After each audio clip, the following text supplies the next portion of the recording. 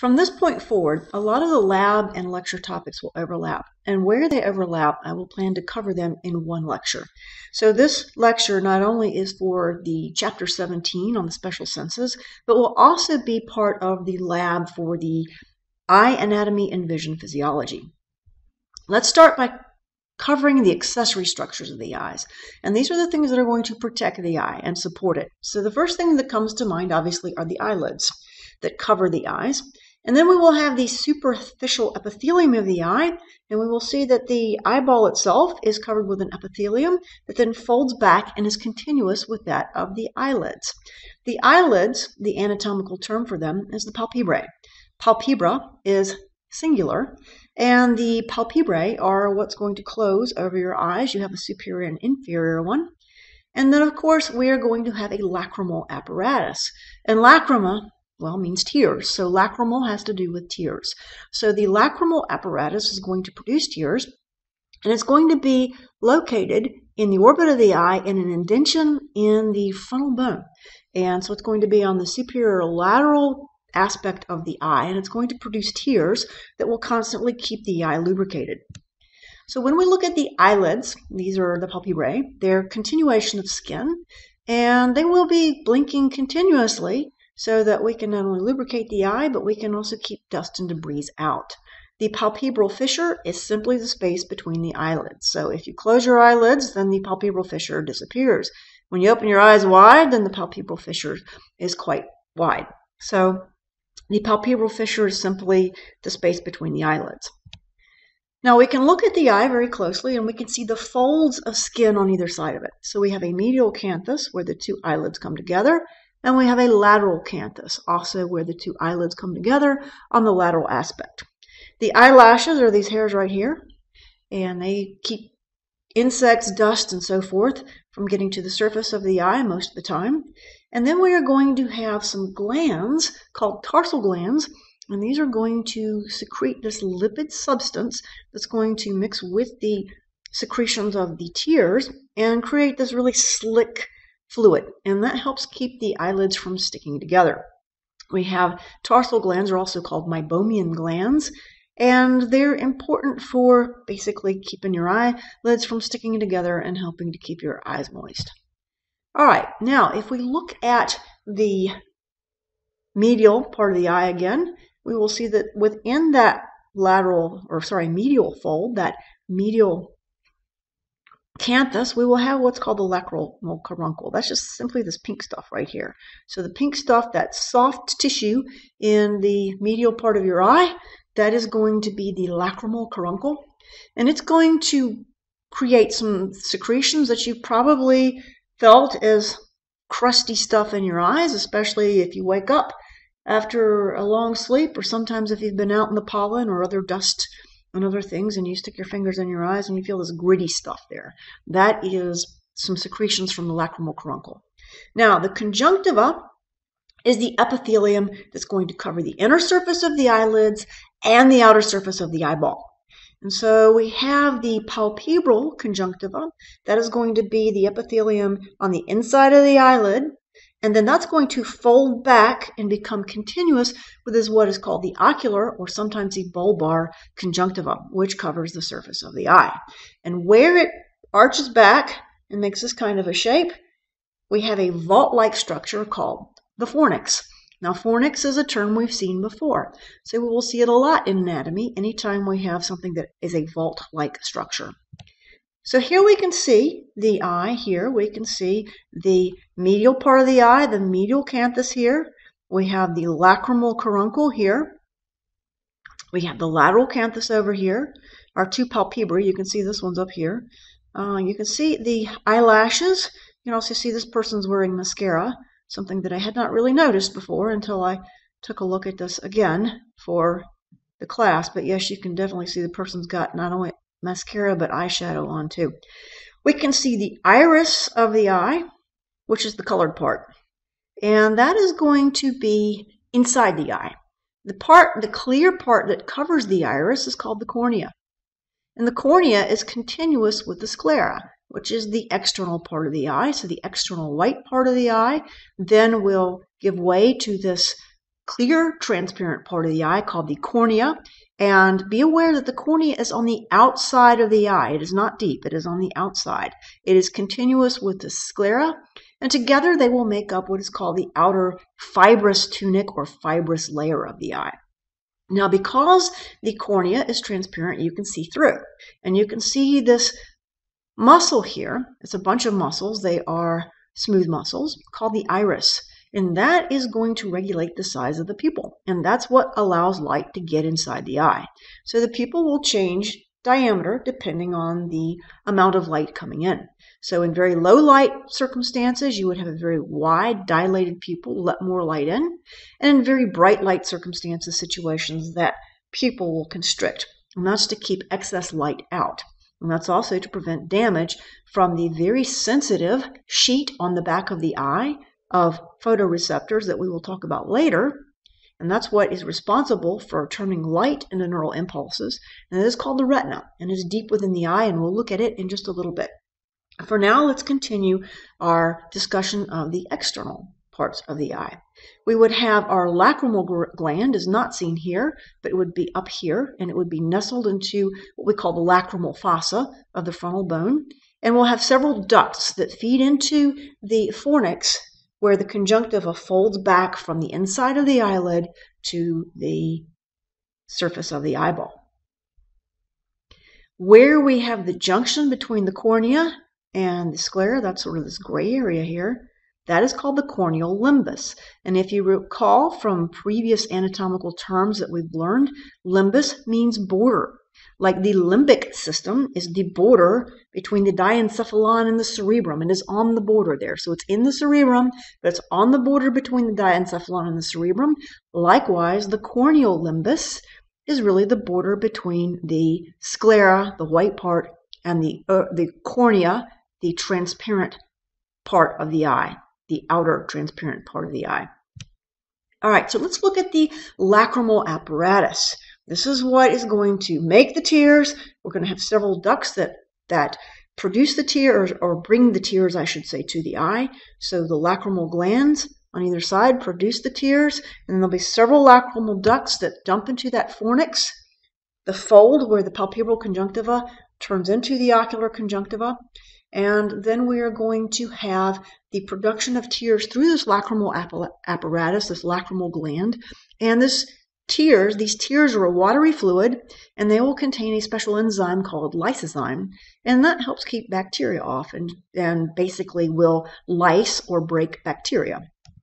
So when we look at tears, they will collect in an area of the lacrimal caruncle called the lacrimal lake. And it's so called because this is where the tears will collect. And they collect medially. So tears wash this way across the eyes from superior lateral to inferior medial. And so then once they get into the lacrimal lake, they will pass through two points called the lacrimal puncta. And puncta means point. In this case, there are two little holes. And those holes will lead into little canals. And as we have seen before, the term for a little canal is a canaliculus. So we will have two lacrimal canaliculi on either side.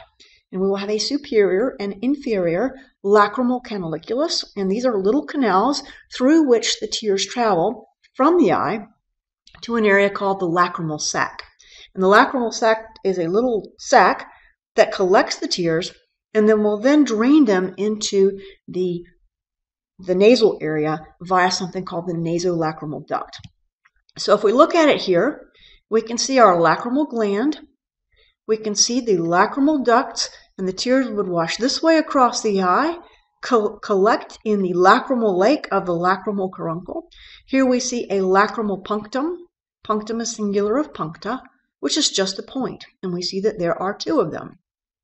A superior and inferior one, and they lead into the superior and inferior lacrimal canaliculi, respectively, which then lead into the lacrimal sac, which then drains into the nasolacrimal duct. Now, we also have six extrinsic muscles of the eye. And the extrinsic muscles of the eye move the eye, or what's responsible for us to be able to look around. And we have four called rectus. And as you recall, rectus means straight. So these are straight muscles. And we have a superior rectus muscle, an inferior rectus, a medial rectus, which can't see here, it's blocked, but it's, it's in there, and we have a lateral rectus muscle as well. We also have two oblique muscles. We have a superior oblique muscle, which will pull through this little piece of connective tissue that acts as a pulley called the trochlea. So remember our trochlear nerve. The trochlear nerve is going to control the superior oblique muscle. And the trochlear nerve gets its name from the fact that it's going to innervate the muscle that is going to pull through this little pulley called the trochlea. Here we have the inferior oblique muscle. Now the eye itself is in the orbit and is surrounded by this fat, this orbital fat, and that helps protect the eye and cushion it and keep it from bouncing around in there. Now let's talk about the three layers of the eye. We've already seen one of them, and that is consisting of the sclera and the cornea, and that is the outer fibrous layer, sometimes called the fibrous tunic. Sometimes these layers are called tunics. So we have our outer fibrous tunic, then we're going to have an, a layer in between called the vascular layer, sometimes called the uvea. And this is going to consist of several structures, some of which we've already seen. So it's going to consist of the iris. It's going to consist of a muscle that will control, or a whole area, which includes the muscle that will control the focus of the eye, called the ciliary body. And it will also consist of a portion called the choroid. The choroid is going to be a highly vascularized layer. So these three things, we'll look at them in a little bit. They will comprise the intermediate layer, the vascular layer. Then we're going to have the deep inner layer, which is also called the neural layer or the neural tunic, and it will include the retina, which has both a pigmented layer and a neural layer. So we will look at these things in more detail as we progress through the chapter. Let's look at the eyeball itself. So the eyeball is hollow, as we know, and we have two large cavities. So everything in front of the ciliary body and the, the lens and the lens is a clear part of the eye that's in the eye. It's in the eyeball, not on the external surface. And it is what will change shape to allow us to focus. So we have the lens, which is going to be one of our dividing lines between the anterior cavity, which is smaller, and it extends up to the cornea. And then we're going to have the posterior cavity, which is everything behind the lens and the ciliary body. So everything really behind the lens is going to be the posterior cavity. And that lens will be held in place by the bulge of the ciliary cavity or ciliary, ciliary body, which we'll look at in just a bit. Now, these are fluid filled cavities, and we will see that we have uh, something called aqueous humor, which will fill the entire anterior cavity and also sort of percolate back into the posterior cavity. And then we will have the posterior cavity, and it keeps its shape because it has this big gelatinous stuff in the back of it, or just big gelatinous stuff that occupies the entire posterior cavity called vitreous, the vitreous body. And so it's going to be a clear gelatinous mass. And then we're going to have fluid called aqueous humor that will be made in the smaller anterior cavity and circulated through both the anterior cavity and the posterior cavity. We'll look at that in more detail in just a bit. So here is the eyeball. And now we can see several things. We can see our eyelid. Here is our conjunctiva here. This is our palpebral conjunctiva. Where it folds back is called the fornix. And remember, fornix means vault. And then we have our ocular conjunctiva. Sometimes this is also called the bulbar conjunctiva because the eyeball is a bulbous structure. Then we are going to have our outer fibrous tunic or layer, which is going to consist of the sclera here, and that is the white of the eye. And then the sclera is continuous with the cornea, which is the clear outer portion of the eye.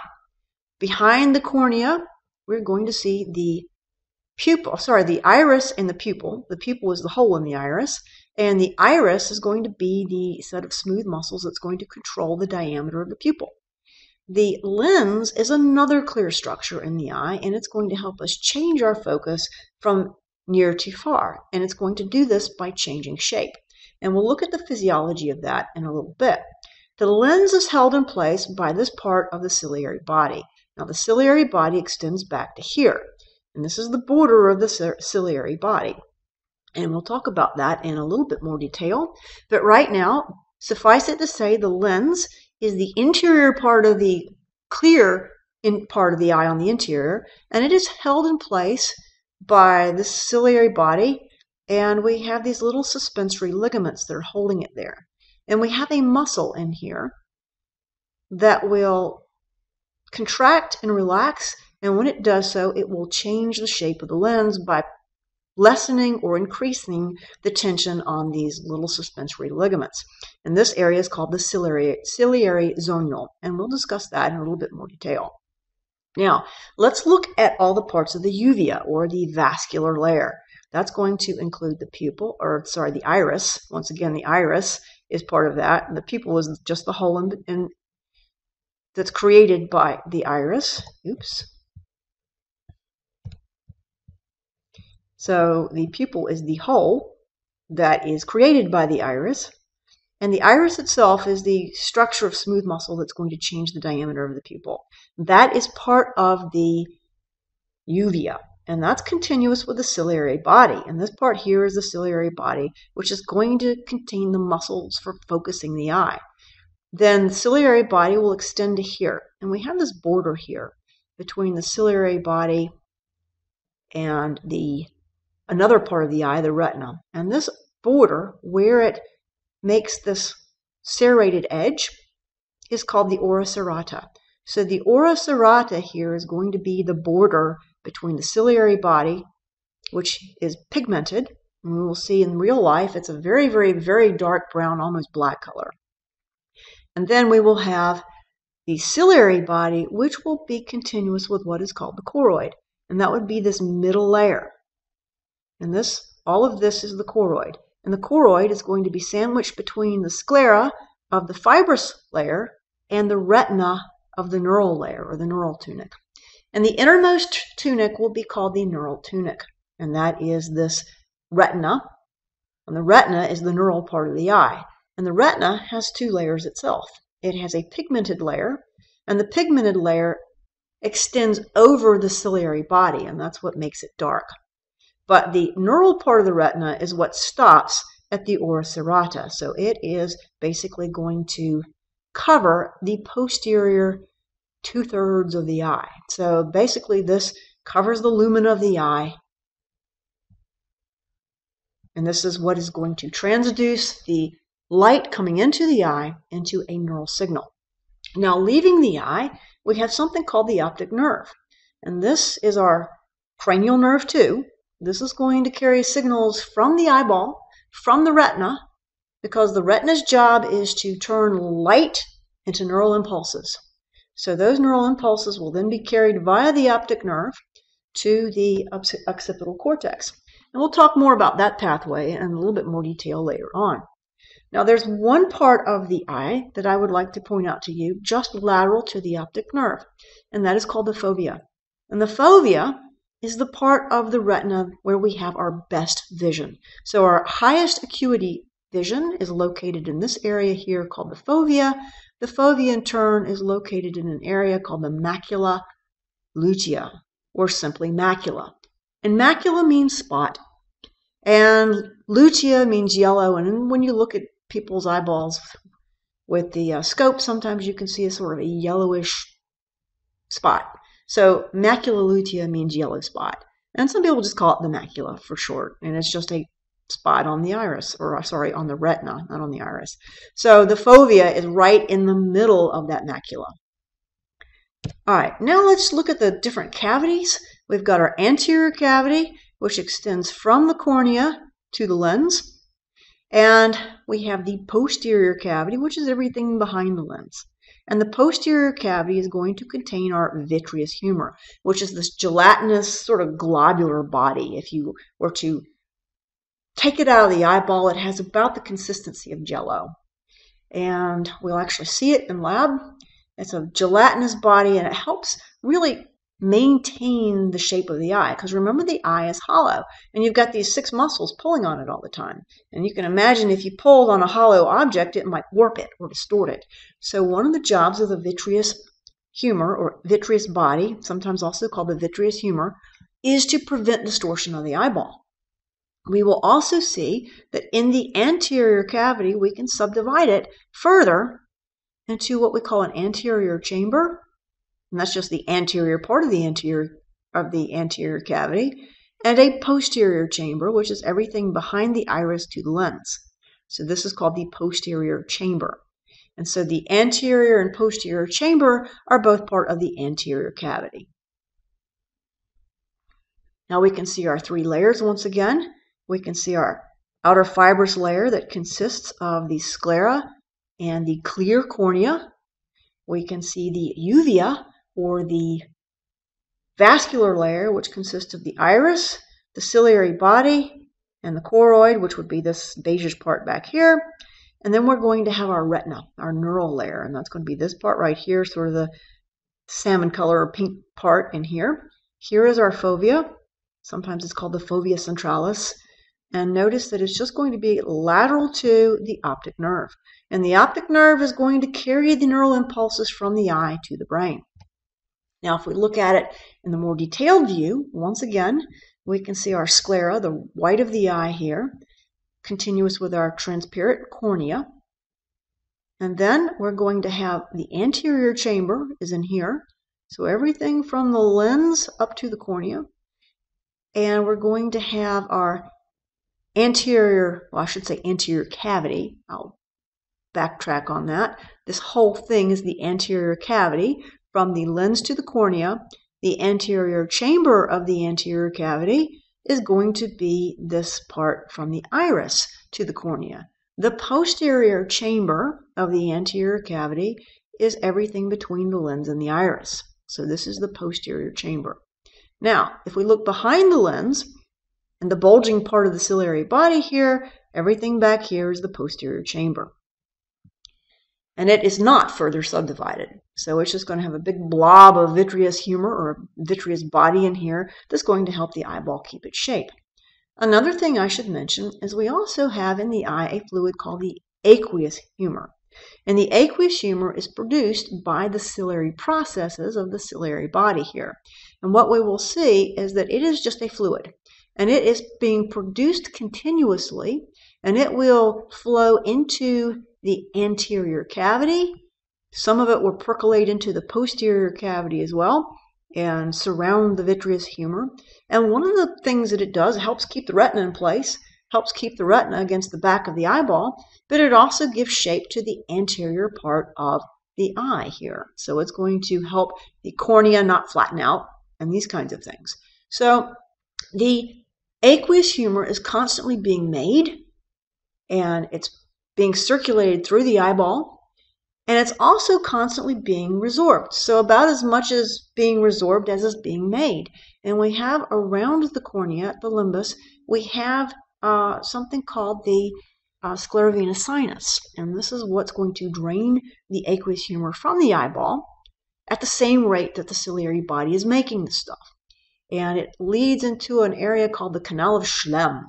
So that's the, basically another name for the scleral venous sinus. We'll look at it in a little bit later detail, or a little bit more detail later on. But suffice it to say that for people who don't drain the stuff fast enough, or they make too much of it, the aqueous humor, they can get a condition called glaucoma. And glaucoma means too much pressure in the eye. So this is an important disease that one must be aware of because it can cause blindness because as too much aqueous humor accumulates in the eye, it will put pressure on the back of the eye. And it will especially put pressure on this optic nerve. And the optic nerve is going to be the weakest part of the eye because this is where we have a hole in the sclera. And the sclera is our fibrous connective tissue part of the eye. It has some elastic fibers in it too, but it is mostly dense connective tissue. And so it's going to be very resistant to pressure, whereas the optic nerve here, and where the optic nerve exits the eyeball is called the optic disc. Pressure on the optic disc can start to damage the optic nerve. And um, this can lead to blindness if it's not corrected. So this is important, and it's an important clinical thing that you will probably be exposed to in your careers. And not only that, but it's fairly prevalent in people who have diabetes. So diabetes can predispose one to glaucoma, and glaucoma right now is the leading cause of blindness in the United States. All right, so let's go through the layers once again. The sclera is the white of the eye, and the cornea is the clear part of the eye. They're both part of the fibrous layer. And the corneal limbus is the border between the cornea and the sclera. All right, the, the uvea is the vascular layer. So we're going to have a lot of blood vessels in this thing, a lot of lymphatics that are going to supply the tissues of the eye. Because the iris is part of the uvea, it's going to regulate, regulate the amount of light entering the eye by changing the pupillar diameter. We're also going to see, remember our ciliary body, as we talked about, is going to secrete the aqueous humor that circulates within the chambers of the eye. Um, well, actually, that's kind of incorrect. This, yeah, this is in the vascular layer, sorry.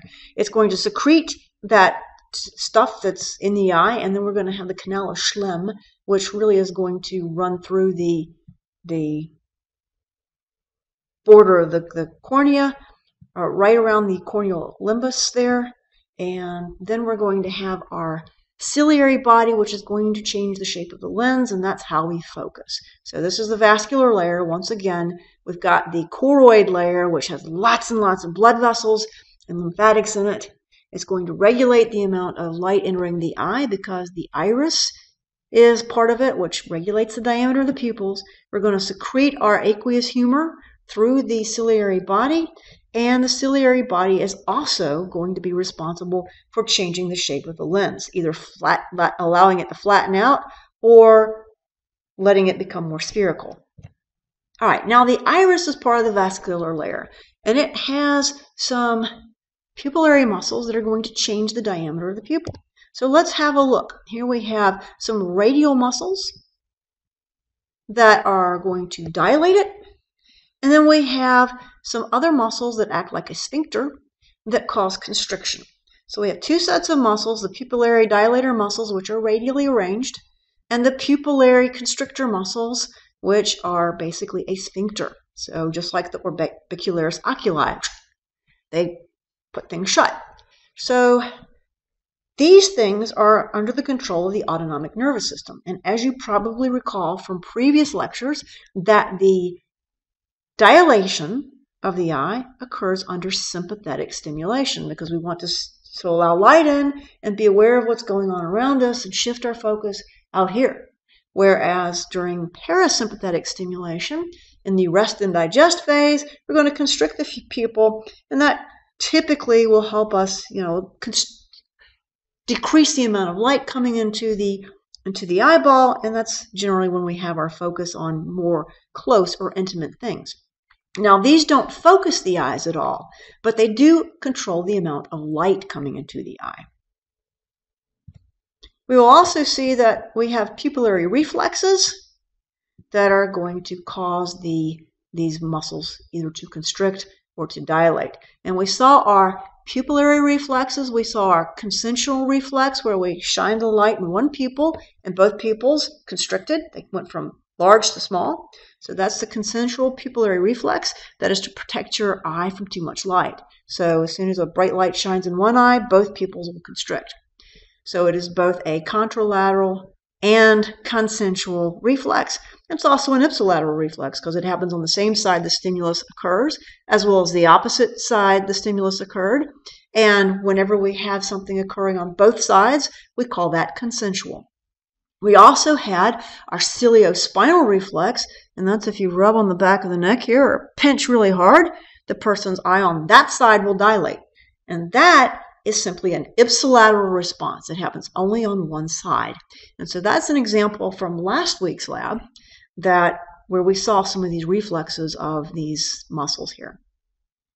All right, now let's look at some of the other parts of the vascular layer. We have the ciliary body, and this is going to extend to that border that we call the ora serrata. And ora serrata literally means serrated mouth. And so it's going to be, it's going to contain the ciliary process, which is the thing that bulges out and holds the, the lens in place, the ciliary zonule, which the suspensory ligaments are attached, are there. And then we're going to have the ciliary muscle. And this is what attaches literally, it's part of the ciliary process. And this is where our suspensory ligaments to the lens are going to be attached. So the changing of the muscle tone in this ciliary body is going to change the tension on these ciliary ligaments, these suspensory ligaments, sorry, and that is going to change the shape of our lens from spherical to flat and so forth. The choroid is the vascular layer, and once again, that's going to be between, between the retinal tunic, the neural tunic on the inside of the eye, and the sclera on the outside of the eye, and this is going to bring a lot of oxygen nutrients to the retina. So the inner, enter, sorry, inner layer of the eye is the neural tunic, and it contains the retina. And the retina has a pigmented part, which is very much like the back of the camera. If you ever look at the back of a camera, it's basically dark, it's black, and that's to keep light from bouncing around in there and creating all these extra reflections. Then we have the inner part called the neural part, and that is the retina. That is the part that is going to transduce the signal for, of light into neural impulses. So whenever we have transduction, we're basically converting a stimulus into a bunch of neural impulses. So our, in this case, the stimulus is light, and we are going to transduce that signal into neural impulses. Now we have in these in this retina things called photoreceptors, and these are receptors that are sensitive to light.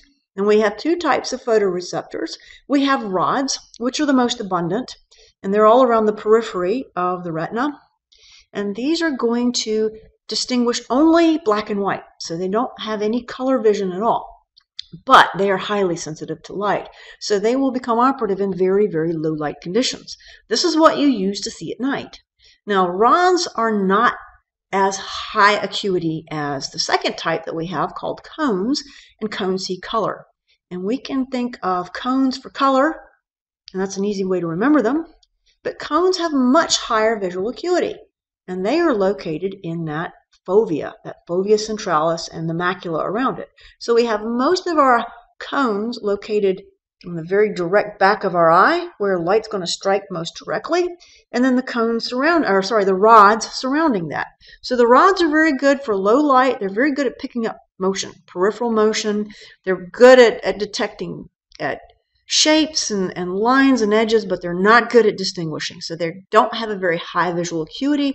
It's very grainy out there. So you could say that the center of your eye is like your high resolution camera.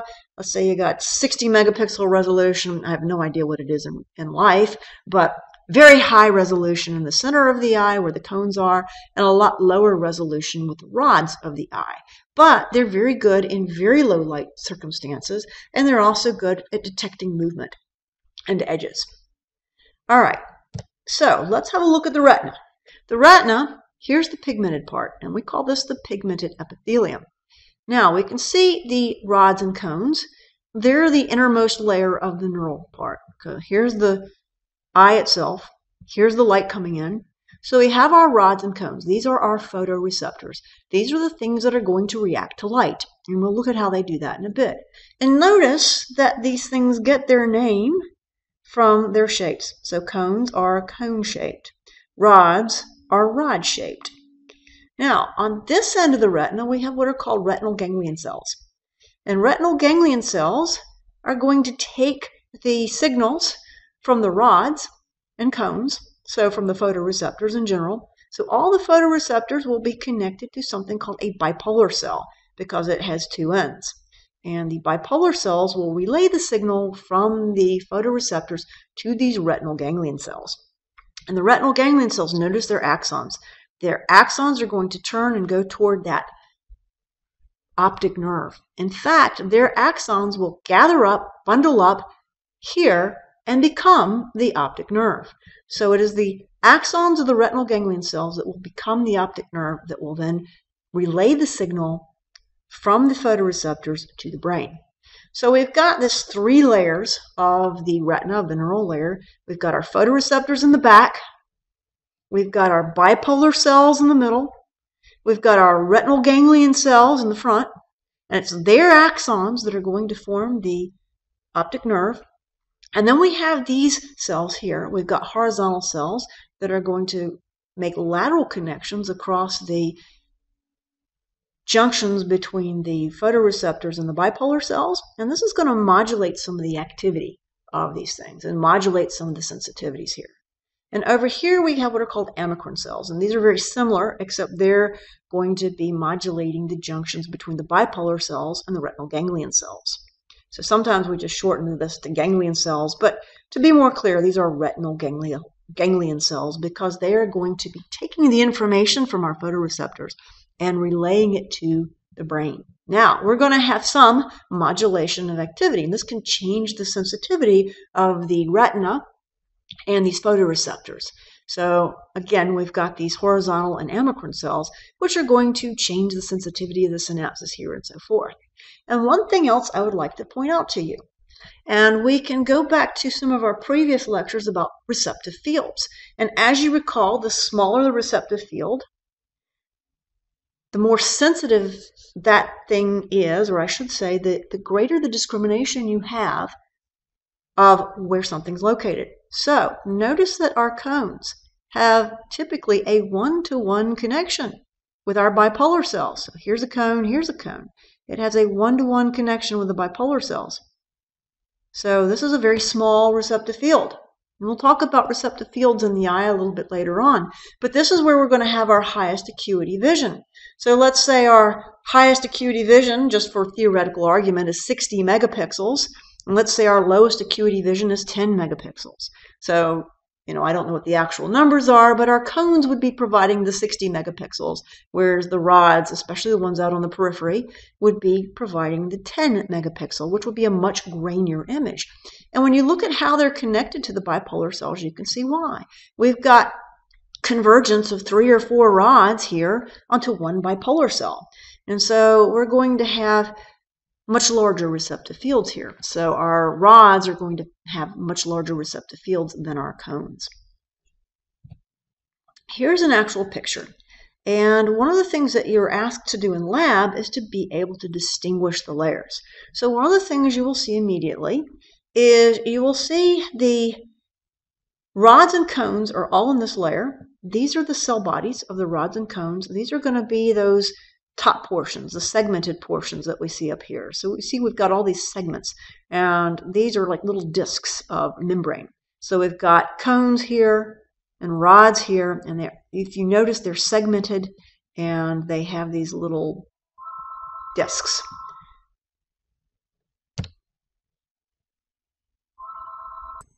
So picking back up from before the phone rang, we've got the rods and cones, the photoreceptors here, these are the nuclei within the cell bodies of the rods and cones. Then the next layer, we're going to see the nuclei of the bipolar cells. So this is the bipolar cell layer. And then we're going to see the, the nuclei of the retinal ganglion cells here. So this is all retina. These are going to be the axons of the retinal ganglion cells. But the cell bodies, the nuclei within the cell bodies or the nuclei themselves are stained very darkly and they're very obvious. You'll notice how densely packed the nuclei of are the rods and cones of the photoreceptors. And then when we get to the bipolar cell layer, we're going to have fewer nuclei and even fewer nuclei here in the retinal ganglion cells. One thing to note, the density of these cell bodies, these nuclei of the bipolar and retinal ganglion cells, will depend on what part of the retina you're in. If you're in the fovea centralis, you'll have quite a few retinal ganglion cells because just about every cone will make a one-to-one connection with a retinal ganglion cell. As you get out in the more peripheral area of the eye, the more lateral parts of the eye, and more medial, so basically anything that surrounds the fovea centralis, we're going to find fewer and fewer retinal ganglion cell bodies because we're going to have larger receptive fields, so we're going to have more convergence by photoreceptors onto bipolar and retinal ganglion cells. Now, notice behind the retina, we have the part of the retina called the pigmented epithelium. So this is the pigmented epithelium. Then behind that we have the choroid, which is also usually quite dark. Um, a lot of times when we see it in vivo, it's quite dark. This typically in a lot of our slides will also appear dark, and this one not as much. but typically that's what we would see. So if you see a slide of the retina in lab, you will be able to, you should be able to recognize where the photoreceptors are versus the bipolar cells versus the retinal ganglion cells. Now you can't really see the amacrine and horizontal cells here, so um, you wouldn't would not be expected to identify those. You should immediately be able to identify the pigmented part in the choroid. All right, so let's look now at the back part of the eye and let's have a look at how this works. So here we have our pigmented part of the retina. We've got our choroid behind it. Here we have our photoreceptors. Here are our bipolar cells. Here are our horizontal cells. Here are amacrine cells right here. And these are our ganglion cells. So the green are ganglion. These guys reaching across, the little orange ones, are our amacrine cells. Our red ones are the bipolar cells. These sort of orangey brown ones are horizontal cells. And the purple ones are the photoreceptors. Now notice how the axons of the ganglion cells all converge at the optic disc and make the optic nerve. So this is the optic disc. And the optic disc is that part of the eyeball where these retinal ganglion cell axons converge and then they turn to form the optic nerve, so cranial nerve 2. Right through the center of this thing, we have the central retinal artery and vein. And that's going to provide blood, blood flow to the retina. Behind the behind the pigmented epithelium of the retina, you have the choroid, which is this part here. And behind that, you have the sclera. So a lot of times, you'll be able to see the sclera in a lot of the slides, depending on how much of it they include. All right, here we have the optic disc. And here you can see the central artery and vein emerging. And if you look over here, here you see the fovea centralis in the middle of the macula. All right, now we can look at the bipolar cells once again, these are the ones that are going to relay the signal from the photoreceptors to the ganglion cells. Then we've got the horizontal cells. We've seen those already. These are going to be making the connections with the photoreceptors and the bipolar cells. And they're going to be modulating the activity therein. And then the amacrine cells are going to be the ones on the other side that are going to be modulating the activity of the bipolar cells with the ganglion cells. And the remember the way I remember which is where amacrine has as many syllables as ganglion. So amacrine with ganglion. So the amacrine cells are going to be on the same side as the ganglion cells. All right, so these are going to, as we've said, modulate the activity between the photoreceptors and the ganglion cells, or in the case of the amacrine cells, the bipolar cells and the ganglion cells. So this is going to alter the sensitivity of the retina. And the optic disc we've seen is where all those axons from the retinal ganglion cells converge. And because there are no photoreceptors there, let's have a look at it again. Notice there are no photoreceptors in here. The photoreceptors stop on either side of the optic nerve. That means this area doesn't see. This is what's called a blind spot. So you cannot see anything in this area because this is where the optic nerve exits the eye. And that juncture where all those retinal ganglion cell axons converge is called the optic disc. So the optic disc is the blind spot. It doesn't see anything. You can't, no image will appear there. All right, so now let's look at the blind spot test. Now, if you're sitting at your computer about as far as I am, and you close your left eye and you look at the cross with your right eye, the circle will disappear. And that just shows that there's an area where your eye doesn't see. Likewise, if I stand over here, close my right eye, and look at the circle with the left eye, the X will disappear, the cross will disappear. And this is a fairly typical demonstration of the blind spot. You can try this yourself. There's a picture of this in your book. We will talk about this in lab as well. And this would be something that you would expect to know. So this is blind spot mapping. This pretty much tells you where your blind spot is, where that optic disc is. All right, so now let's talk a little bit about the chambers of the eye we know that the ciliary body and the lens divides the eye into the posterior cavity behind it, and that's also sometimes called the vitreous chamber because it contains the vitreous body, which is that gelatinous mass in the eye. Now, the smaller anterior cavity, which is in front of the ciliary body in the lens, is then subdivided into the anterior chamber from the, the iris to the cornea and the posterior chamber from the basically the iris to the ciliary body in the lens. All right, so we know that the aqueous humor is made within that anterior chamber and it circulates not only within the anterior chamber but around the vitreous body in the posterior chamber as well. And it will be drained via the scleral venous sinus, also called the canal of Schlemm. That's too good of a word not to have to say. Canal of Schlemm. And so this is what gives us our intraocular pressure. That's the fluid pressure within the eyeball. And that's what helps keep the eye inflated, if you will. So it helps the eye keep its shape. So we can measure this with a tonometer, and it should be between, what, 10 and 21 millimeters of mercury, somewhere around in there. When it gets above 21 millimeters of mercury, that is an indication of glaucoma. And glaucoma, now that we know the physiology and the anatomy of the eye a little bit, if we go back here and we look at the back of the eye, we know that this optic disc is going to be where the optic nerve leaves the eye and notice that we have no scleral wall here. So this is the weak point. So when you have too much ocular pressure, this gets pushed in like this. So instead of being sort of continuous with the curvature of the eye in the back, it actually gets smushed in. We call this a cupped optic nerve. Some people have what's called a physiologic cupped optic nerve. That means they're born with it.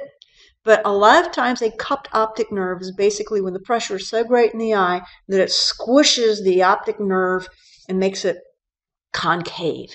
And this eventually can cause damage to those, those axons of the retinal ganglion cells, which are part of the optic nerve, and then it can cause vision loss. And this is very important to monitor in people with diabetes, especially because they're predisposed to it, to glaucoma. So let's have a look at the chambers of the eye. So here's the anterior chamber, everything from the ciliary body and lens up to the cornea and everything behind the ciliary body and the lens is the posterior cavity, sometimes called the vitreous chamber, chamber because it contains the vitreous humor, also called the vitreous body. Now we make our aqueous humor right here in the ciliary body, and that's going to circulate around. It's going to circulate posteriorly into the posterior cavity and anteriorly, not only filling the posterior chamber of the anterior cavity, but also circulating through the pupil into the anterior chamber of the anterior cavity. Here we have our scleral venous sinus, and basically we make as much of the stuff as we drain out. And when we don't, when we either make too much of it or don't drain it fast enough, then that results in the condition called glaucoma. Now, let's look at the lens here and how it is attached to the ciliary body.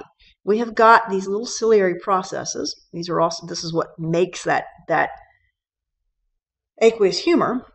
But we have also, they form the attachment points for these suspensory ligaments. And where the suspensory ligaments are collectively that hold the lens to the ciliary body, we call this the ciliary zonule. And the actions of the muscle in here, the muscle within the ciliary body, is going to change the tension on these suspensory ligaments. And so that will change the shape of the lens. And the lens is also a clear structure because again, light must pass through it. So there are two clear structures in the eye. There is the cornea, which is the external structure, the external part of the clear part of the eye, which is continuous with the sclera and part of the fibrous tunic. And then we have the lens, which is held in place by the ciliary body and is behind the iris. So don't get these two confused. So, as I like to say, if you confuse these two, I'll take off double points. So, don't confuse them. All right, so the vitreous chamber, as we've said, is basically the posterior cavity. So don't get that confused with the anterior and posterior chambers of the anterior cavity. I know sometimes the naming gets a little bit convoluted, but it's only called the vitreous chamber, synonymous with the posterior cavity, because it contains the vitreous body, which is this big blob of gelatinous stuff that really helps stabilize the eye and also helps keep the retina pushed back on the back of the eyeball. So it's a very important thing. And over time, it can start to the proteins that make it up can start to to coagulate and you'll get what are called floaters. So if you see those little things that you chase around, some of those, they're things that sort of are visible in the vitreous body. They actually, as light comes through, it'll cast shadows on the retina. This is what causes floaters. And sometimes the floaters get so bad that the vitreous body has to be replaced in what's called a vitrectomy. And that's, uh, I actually know someone who's had it done. They actually have to pull the eyeball out and, and replace it. But in any case, that's uh, the vitreous body can get imperfections in it. And we will see that anytime we have imperfections in any of these structures of the eye, so the cornea being a clear structure, the lens is a clear structure. I should have said the vitreous body is also a clear structure contained within the posterior cavity because it too is transparent and must allow light to pass. All of these things are clear. Anything that light has to pass through has to be transparent. And any of these things can fall prey to things that will make them opaque. So the cornea can have damage, and that can damage the surface of it, and then it can become scratched or infected and have have um, become opaque, and then that can actually cause blindness, even though the photoreceptors are still functional. The anything that blocks the passage of light would prevent you from seeing anything. So the cornea can become damaged. It can also be easily replaced because there are no blood vessels in the cornea. So the cornea is require is dependent on the tears for its nutrients and diffusion. So we've got the cornea has no blood vessels in it, so it's actually fairly easily replaced. So you can take a cornea from a donor that doesn't even have to be the same blood type of the person who is receiving it, because basically what will happen is there's no way for immune cells or white blood cells to get in there and cause a rejection reaction. The other thing that can happen is you can get cataracts within the lens. And we have special proteins within the lens called crystallins, and they are basically making these these they're long, thin proteins. They've ejected all their cell cellular organs. They have no nuclei, basically. And there are these long, thin proteins that interact and make this sort of network that is these sort of layers of cells that if they become damaged or that those layers become sort of crossed or, or damaged in some way that the proteins are no longer transparent, then you get cataracts. And so sometimes a lens replacement can be done as well. They used to do lens replacements from cadavers. Now they usually use some kind of synthetic material. And lens replacements can also be done. So you can do corneal replacements, you can do lens replacements, and you can even replace the vitreous humor. All right, so the lens fibers here, again, these are called crystallins. They don't have nuclei or organelles. This is so that light can pass freely through them and these are going to uh, allow the lens, they're somewhat flexible, so they're going to allow the lens to be able to focus. And other than these crystallins, we have elasticity of the lens, some very elastic capability of the lens so that it can take different shapes. It can be flat or it can be spherical. And we'll see this is very important when we look at the focusing power of the lens.